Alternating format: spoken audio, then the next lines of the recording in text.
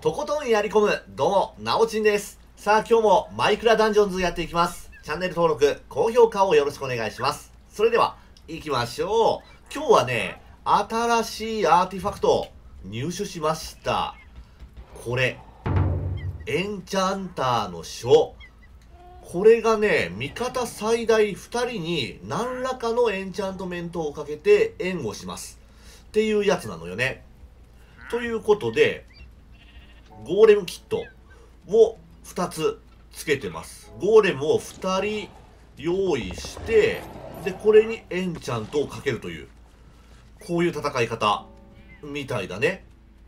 で、敵のエンチャンターも、こうエンチャントをかけると、めちゃくちゃ強くなるじゃない、敵。普段の4倍から5倍ぐらいの強さ。いや、それは言い過ぎか。3、4倍だな。それぐらいの強さになると思うので、これで戦ってみよう。あ、炎の道？あ、そうかそうか。何らかのエンチャントだから、何のエンチャントがつくかは、その時次第ってことか。なるほどね。ならば、落雷とかがつけば、いいよね。帯電がついてると。まあまあまあ、ここで、どんな感じか、試してみよう。では行きましょう。どうも、一番最初のところに、エンチャントされた敵がいるね。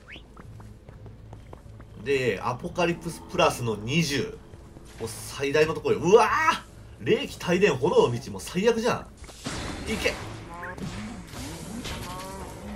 あ、でも思った以上に戦えてるぞ。思った以上に戦えてる。あ、やばいやばいやばいやばいやばいやばいやばいやばい奴らが来る。奴らが来るぞ。いけ。いや思った以上に戦えてるよ。いや帯電がついてる。うわー。帯電がついてるとちょっと辛いわ。ああ ゴーレムちゃん。来た来た来た来た。来たよ来たよ来たよ来たやっつけて。おし。倒せるんだ。エンチャントありの敵をお倒してる倒してる。倒してるぞ。うん。結構強い結構強い。え？殲滅した。マジか。普段の俺じゃちょっととても歯が立たないようなやつが倒せる。うわめちゃくちゃ強いぞ。一発で5万とかダメージ与えるし。そうかそうかそれ。あれがねついてるエンチャント次第でもっと強くなるな。え何このダメージ？半端じゃないぞ。でしかもクールダウンつけてると全然連発で使っていけるからあれ攻撃しないぞ。あ攻撃しない。やられちゃった。やばいやばいやばい。やられちゃった。いけ。いやこれ半端じゃなく強い。半端じゃないよ。え？ちょっと待ってお前たちこっち来いこっち来い。おお炎上させるやつ。いいねいいねいいね。これ俺が後ろからうわ支援してやれば全然いける。あ感じだわあ痛い痛い痛い痛い。痛い。いやこれやばいこれやばいやばい。お前たちなんとかして。なんとかできてる。ちょっと待って。ちょっと待って。やばい。やられそう。いけ。ああでも強いぞ。なんかこれすごい今後に期待ができる戦い方。やべやべやべやべ。自分だけで戦うよりもいや断然強い。断然むちゃくちゃ強いぞ。おいやばいやばいやばいやばい。来た来た来た来た来た来た。来たよ来たよ。来ちゃったよ。いけいけ。お前たちいけ。いけ。戦って。よし。戦ってくれ。おし。ななんか全然攻撃しないんだけどあいつ。はい攻撃して。よしいけ。よしエンチャントかける。うわすごい囲まれてる。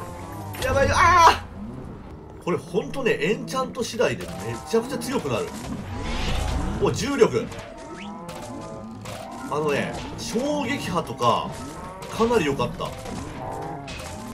ちょっとボスにもこれ通用するのかやってみよう。いけ。あ全然減らせてるよ。やばい毒の雲これやばいね。でダメージもあ HP がさゴレの HP これ半端じゃないことになってるね。やべえやべえやべえ。何それ。雷がすごいよ。雷ゴーレム半端じゃない。何この強さ。俺攻撃してないからね。うわこれも召喚師ビルドやばいね。自分も攻撃するとこれは強い。なるほどね。これプラス20のアポカリプスプラスなんだけど全然戦っていけてるっていうところがすごい。ああちょいちょいちょい。いや全然いけてる、まあ、これ雑魚敵は俺がちょっと処理したらいいのかな？いけ。それ。ああ危ない。でもこれあれだねついてるエンチャントによってダメージがかなり違う。当たりのエンチャが来た時はもうとんでもない火力出すね。当たりが来ればすごい。外れだったらばそうでもないか。ないやでもそうでもないけどもゴーレムたちの攻撃力もともとの攻撃力と耐久力が素晴らしいからおっとチェーンがついてるチェーン。わお！ゴーレムさんすごすぎ。このエンチャントの書はこれやばいぐらい強いね。やばいですこれ。つくものによるけど。はいそれではね今日は新アーティファクトえっ、ー、とエンチャンターの書使ってみたけどやばいぐらいに強い。アポカリプスプラスの20に全然いけるレベルまで押し上げれるのでこれは強いね。えこれもしかしてあれ？パーティープレイにして自分の仲間に使えるのかな？それだったらめちゃくちゃすごいけどね。まあ分かりませんね。まあとにかくエンチャンターの書強いです。入手してみてください。